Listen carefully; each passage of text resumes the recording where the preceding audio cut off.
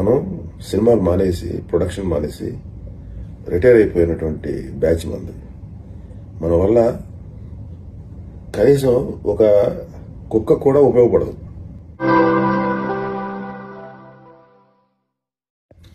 నమస్కారం.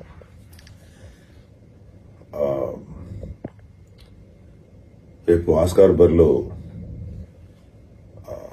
మన భారతీయ దర్శకుడు తెలుగువాడైనటువంటి రాజమౌళి దర్శకత్వం వహించిన ఆర్ఆర్ఆర్ సినిమా సాంగ్ నాటు నాటు నాటు ఆ సాంగ్ని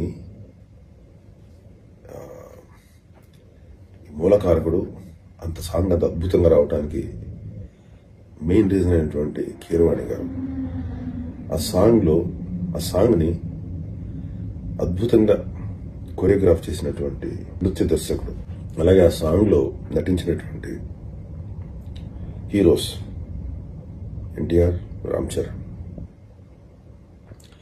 రేపు ఆస్కార్ బర్లో ఆ నామినేషన్లో వచ్చిందంటే అవార్డు మనం అందరం. అరే ఇది మా తెలుగు సినిమా ఇది మా తెలుగువాడి సినిమా అని మనం గర్వంగా తలెత్తుకొని చూడగలిగేటువంటి పరిస్థితి. ఒకవేళ రాకపోయినా పోటీలో ఉన్నాం. మ్యాక్సిమం ఫైట్ ఇచ్చాం అని కూడా గర్వంగా తలెత్తుకోగలిగింది పాట అది అలాంటి సినిమా అది. నిజం చెప్తున్నానంటే ఒక ఏఆర్ రెహమాన్ జైహో సాంగ్ని ఆస్కార్ దాకా తీసుకెళ్ళి అవార్డు కొట్టినప్పుడు మనందరం చాలా గర్వించాం. మన మన ఇండియన్ దర్శకుడి మ్యూజిక్ డైరెక్టర్ సినిమాని. అలాంటిది మన ఇండియన్ మ్యూజిక్ డైరెక్టర్ అందులో తెలుగువాడైనటువంటి కీరవాణి గారు అంత అద్భుతమైన పాటను చేసినందుకు ఇదిరా మా తెలుగువాడి సత్తా ఇదిరా మా భారతీయుడి సత్తా అని మనందరం జబ్బలు చరుచుకొని గర్వంగా నిలబడాలి కానీ ఆస్కార్ బర్లో నిలవబోతున్నందుకు కుళ్ళుకుని చచ్చిపోవటం ఏంటి? మెచ్చుకోవే మెచ్చుకోవటం అనేటువంటి సంస్కారం కొంతమందికి లేకపోవచ్చు. కుళ్ళుకుని చచ్చేటువంటి ఈ దుస్థితి ఏంటి?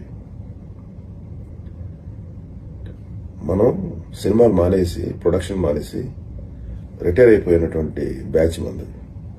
మన వల్ల కనీసం ఒక కుక్క కూడా ఉపయోగపడదు. ఇంకే మనం వీడియోలు పెట్టుకొని కథలు చెప్పాలి తప్ప. కెమెరా మొహం మీద పెట్టగానే నోటికి వచ్చినట్టు పెద్ద అనలిస్ట్ లాగా మాట్లాడి చాలా మేధావులా మాట్లాడితే జనం అప్రిషియేట్ చేయరు. అసలు ఇంత క్వశ్చన్ ఒకటే క్వశ్చన్ మీకు. ప్రీవియస్లో మీరు ఎన్ని గొప్ప తీశారు?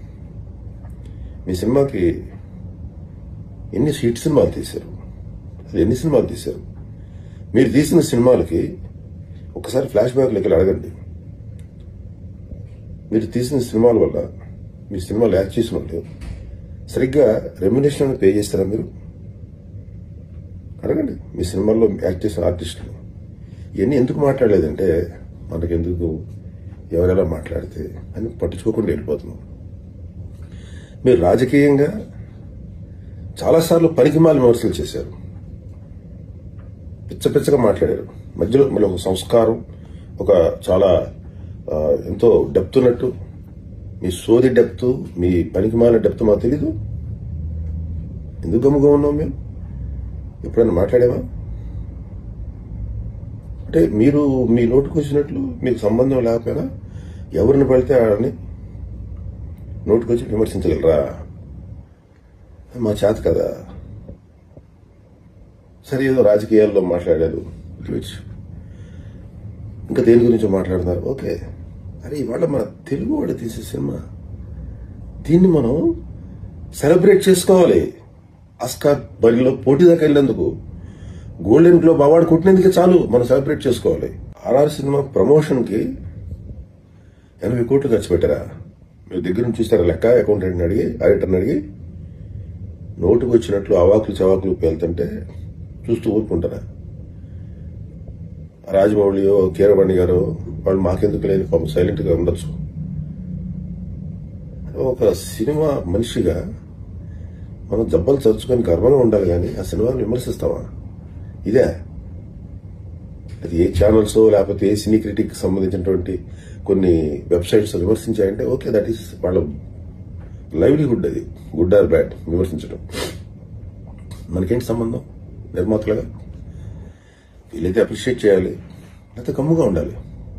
కుళ్ళు ఉంటుంది కదా కొంతమందికి. సైలెంట్గా ఉండండి. మీ కుళ్ళుని మీ విషయాన్ని బయట కక్కటం ఏంటి? ఒకవేళ మీరు కక్కితే మీ విషయం కక్కుతుంటే చేతులు చెట్టు కట్టుకుని కూర్చుందాం అనుకున్నారా? ఇప్పటికీ చాలాసార్లు చాలా ఎక్కువ మాట్లాడారు మీరు. ఎప్పుడు మాట్లాడలేదు నేను. నేనే కాదు మా వాళ్ళు అసలు అసలు అసలు మాట్లాడరు మా చి- మా అన్నయ్య గారు లేకపోతే మా పిల్లలు మా చరణ్ మా తమ్ముడు పవన్ కళ్యాణ్ గారు ఎవరు మాట్లాడరు. కానీ మరి శృతి మించితే ఖచ్చితంగా కౌంటర్ ఇస్తాం. చాలా తీవ్ర స్థాయిలో ఇస్తాం కౌంటర్. అటు పవన్ కళ్యాణ్ గారిని విమర్శిస్తారు. చిరంజీవి గారిని విమర్శిస్తారు. ఏంటి మీరు ఏమన్నా మోరల్ పోలీసా? మనిషి ఎలా బతకాలి ఏం చేయాలని? ఫస్ట్ మీరు మీ బతుకు ఎలా బతకాలో ఆలోచించుకోండి. ఈ సందర్భం వీలైతే మీరు ఎలా సర్వీస్ చేయాలో ఆలోచించండి. సినిమా ఇండస్ట్రీకి ఎలా ఉపయోగపడాలో ఆలోచించండి. ఓ పక్కన కూర్చొని లేస్తే మనిషిని కాదు అని బిల్డప్లతోటి ఎవరిని పడితే ఆయన నోటికి కూర్చొని మాట్లాడితే ఎవరు చూస్తూ ఊరుకోడు ఇది మీకే చెప్తున్నాను. ఇంకెప్పుడు అర్థం లేకుండా మాట్లాడాను. నేను మాట్లాడకూడదని చాలాసార్లు సమయం పాటించాను. పెద్దలే మనకెందుకు?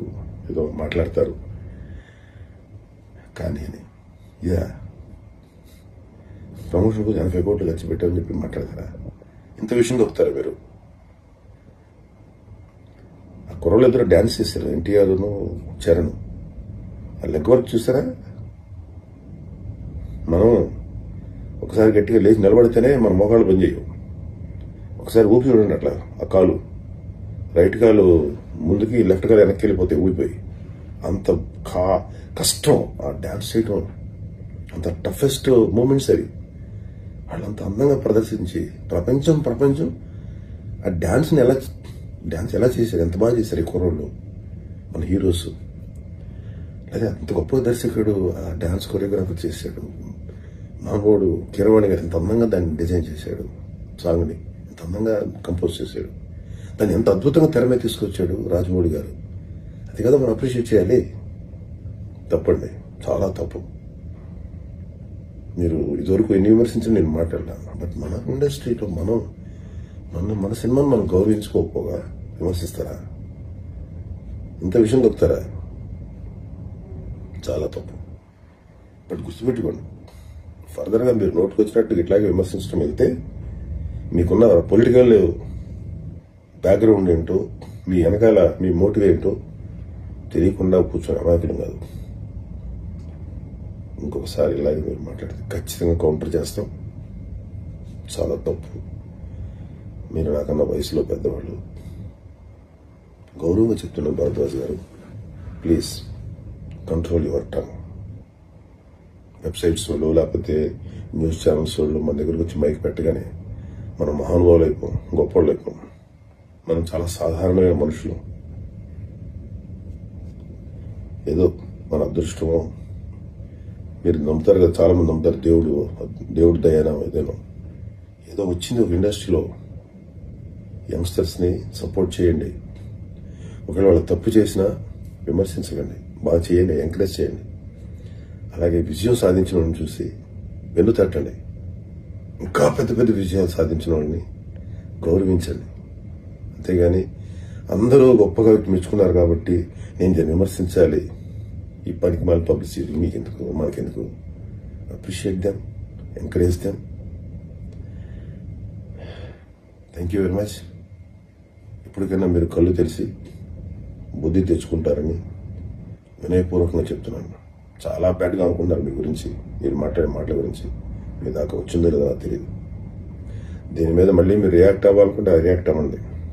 మీరు ఏ రేంజ్లో రియాక్ట్ అవుతారో దానికి లక్ష రెట్లు రియాక్ట్ అవుతాను నేను. రియాక్ట్ కాకుండా గత ఐదారేళ్ళ నుంచి సైలెంట్గా గమనం మాట్లాడలేము మేము. ఇక మాట్లాడాల్సిన అవసరం వచ్చింది. ఎందుకంటే ఒక మూల పెట్టి మీ ఇష్టం వచ్చినట్టు మాట్లాడుతుంటే తట్టుకొని భరించేంత ఓపిక తీరిగా మాకు లేదు. అంత మంచితనం కూడా నాకు లేదు. ఖచ్చితంగా రియాక్ట్ అవుతాం. జాగ్రత్త. నమస్కారం. ఏదైనా పొరపాటు మాట్లాడండి పెద్దవారు నాకన్నా.